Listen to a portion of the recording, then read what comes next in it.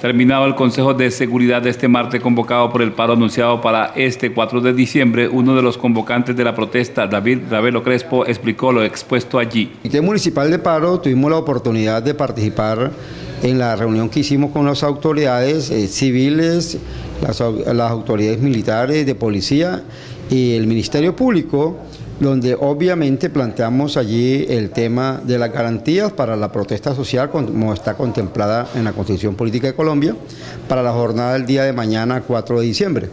Eh, allí se habló, se hizo inclusive un balance eh, de lo del 21, que fue una jornada exitosa en Barranca Bermeja, pero sobre todo pacífica, civilizada y masiva.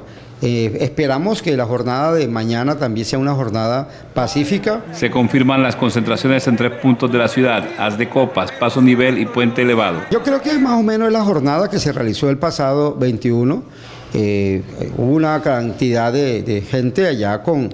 Eh, dándole prioridad desde luego al tema que tiene que ver con el tema de salud, ambulancias, y hechos de emergencia, así lo, planteamos, así se acordó inclusive, y esperamos que esta jornada siga transcurriendo de manera normal y que Barranca Bermeja sea ejemplo de la lucha civilizada que estamos dando por nuestros derechos y sobre todo de convivencia y que haya ese, continúe mejor esa interlocución con las autoridades para que todo esté en la normalidad. Desde primeras horas del día se anuncian estas movilizaciones en la ciudad.